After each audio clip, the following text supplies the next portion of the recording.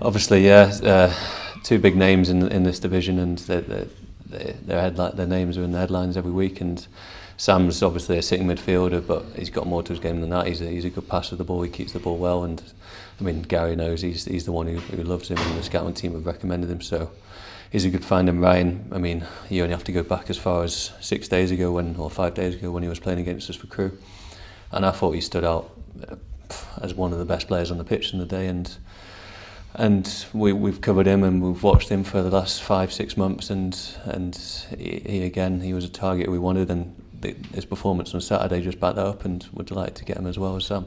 Sam, welcome to Wigan Athletic. Just how pleased are you to complete the move? Yeah, I'm delighted for it to finally come through. Um, it's a fantastic club with a lot of ambition, and I'm delighted to be here. Yeah, I mean it's a, it's a great move. It's a big club, and um, I'm really looking forward to getting started and working with um, a great bunch of lads and some great staff.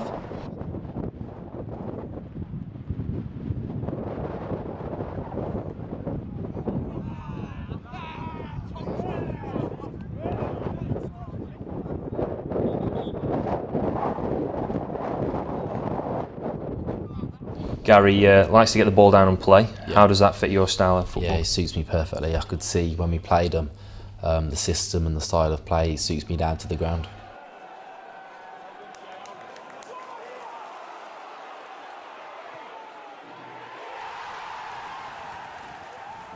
Um, I don't play anywhere across the front three really. Um, like to get on the ball, um, to go 1v1 against someone and yeah, obviously I, I like to have a shot and score a goal. So yeah, just um, that, I suppose that's me. Yeah. You've got a good goals return this season. At 21, I guess you feel you've got a big future ahead of you as well with the experience you've got at a club like Crewe. Yeah, I would like to think so. I mean, Crewe's always been known for producing players, um, and hopefully, I'd like to think that I'll be one of those players. Um, scored eight goals so far this season, and hopefully I continue to do that for Wigan. You scored against us in the Johnstone's Paint Trophy as well earlier in the season.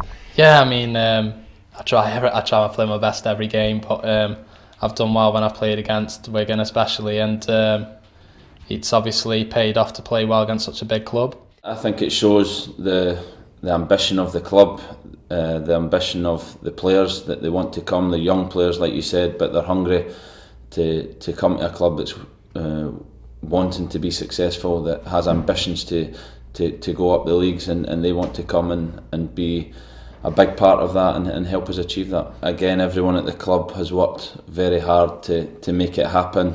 Uh, there were two players we've identified for a long time. Uh, having played them both recently as well, the fans got to see them recently and the qualities that they both have. Uh, so we're really happy to, to get them signed and, and available for Saturday. Obviously, your former club Port Vale are the visitors of the weekend. Be nice to make your debut against them. Yeah, absolutely. I've um, played against them a couple of times, and they're doing well themselves this season. So it'd be a tough game, but it'd be a great few points if we can beat them. This weekend, potentially your first game against Port Vale, and, and you're a Burslem lad.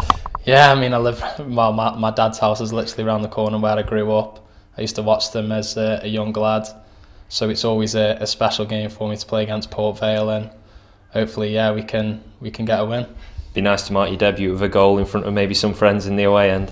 Yeah, it, would be it'd be one of them. I don't know how, how, much I'd celebrate, although I would be really happy. But um, yeah, it'd be be great to score against Port Vale and uh, mark mark my debut.